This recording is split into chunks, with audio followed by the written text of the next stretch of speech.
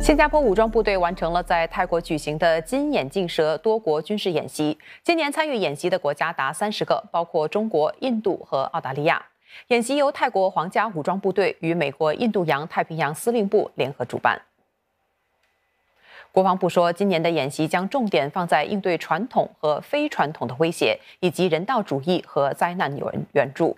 新加坡武装部队代表担任了不同角色，包括在多国部队部总部当中的重要任命。